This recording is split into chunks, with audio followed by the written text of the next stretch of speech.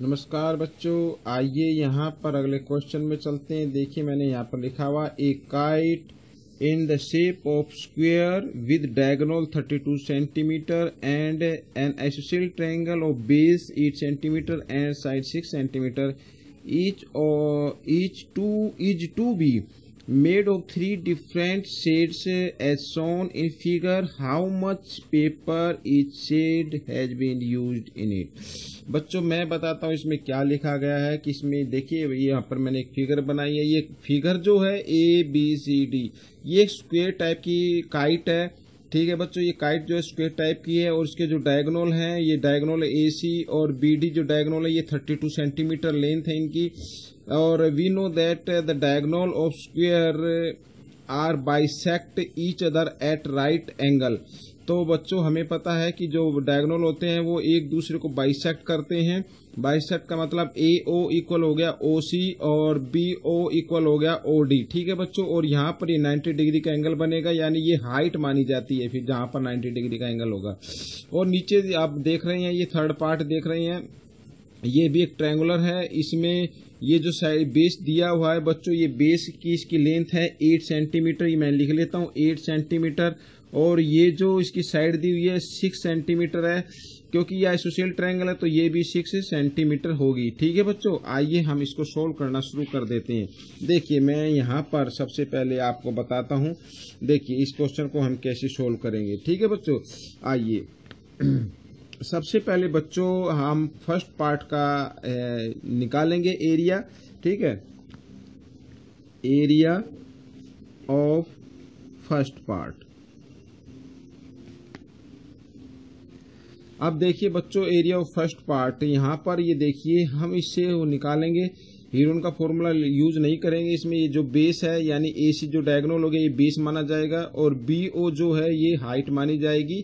ठीक है, क्योंकि डायगोनल बाइसेक्ट ईच अदर मैं यहाँ पर लिख लेता हूँ बच्चों, ताकि आपको ध्यान रहे। Area of triangle area of first part क्या होगा? देखिए one by two base into height ये फॉर्मूला हम यूज़ करेंगे। आइए सबसे पहले लिख लेता हूँ मैं, देखिए। Since the diagonal of square are bisect each other at right angle. ठीक है बच्चों, आप ये देखिए। अब इसका मतलब जो हो गया है, देखिए, इसका मतलब हो गया ए ओ इक्वल होगा ओ सी इक्वल होगा बी ओ इक्वल होगा ओ डी ठीक है बच्चों, ये होगा।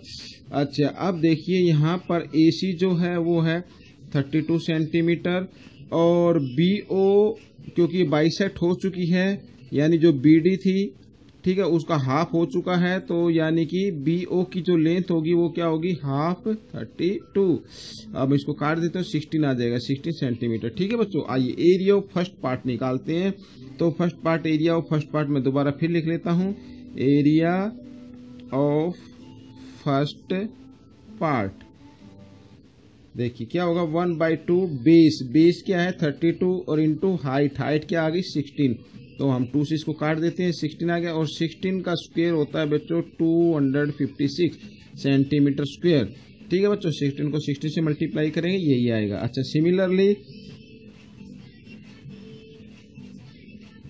ठीक उसी तरह बच्चों, ये जो नीचे दिया हुआ पार्ट ठीक है इसका ए सी डी जिसका लिख सकते हैं एरिया ऑफ़ देखिए similarly area of second part.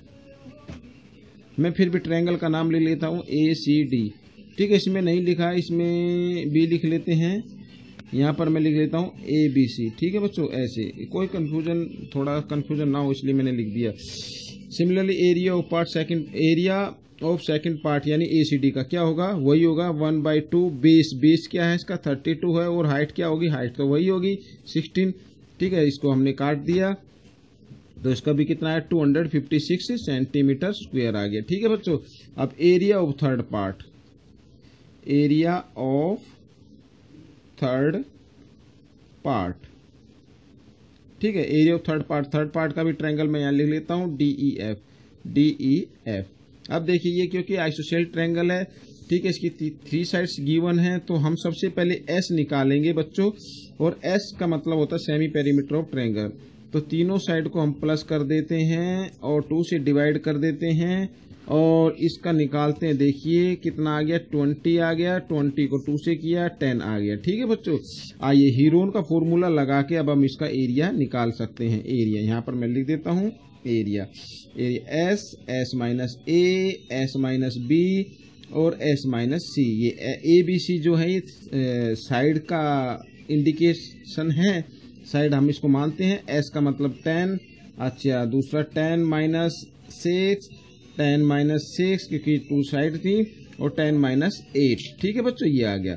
आइए, अब हम इसको करते हैं सोल्व यहाँ पर देखिए टेन टेन के मैं फैक्टर लिखता हूँ five into two six ten में से सिक्स माइनस करेंगे इंटू फोर यहाँ भी फोर आ गया और यहाँ पर आ गया टू ठीक है बच्चों, अब देखिए फोर का भी पेयर बना हुआ है टू का भी बना हुआ है, इनमें से एक संख्या बाहर निकाल लेंगे एक एक।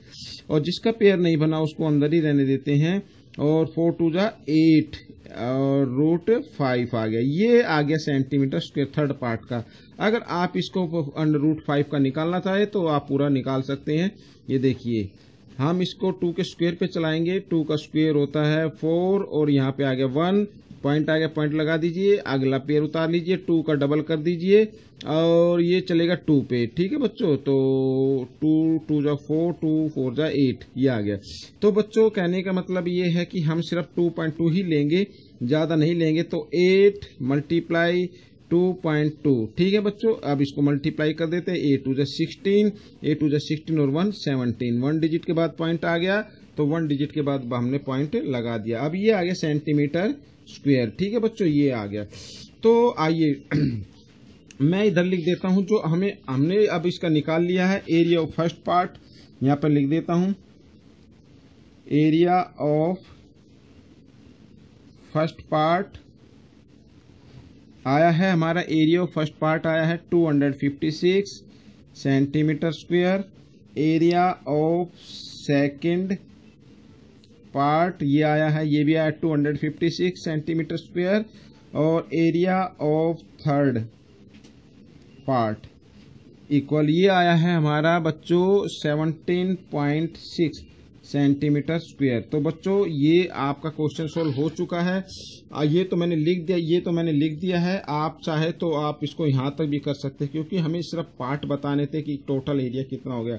अगर आप इसको प्लस करना चाहे तो प्लस कर सकते हैं। बच्चों, ठीक है?